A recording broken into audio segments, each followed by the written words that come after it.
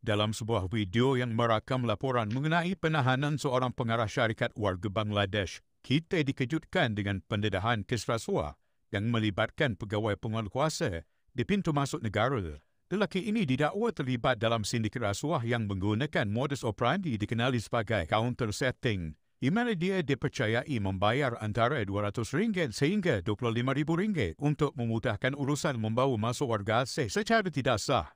Penangkapan ini jelas menunjukkan bahawa rasuah adalah masalah yang serius, terutamanya apabila melibatkan pegawai penguatkuasa yang sepatutnya menjaga integriti undang-undang. Video ini turut menekankan betapa pentingnya penguatkuasaan yang tegas bagi mengekang aktiviti seperti ini daripada terus berlaku. Kes ini sedang disiasat di bawah Akta SPRM 2009 yang memperlihatkan komitmen SPRM dalam memerangi rasuah di negara ini.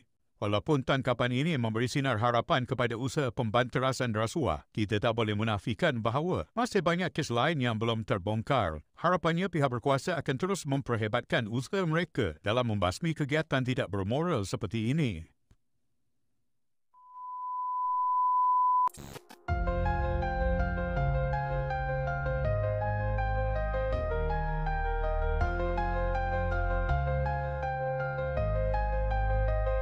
Satu hati, satu jiwa Kita semua berdiri bersama.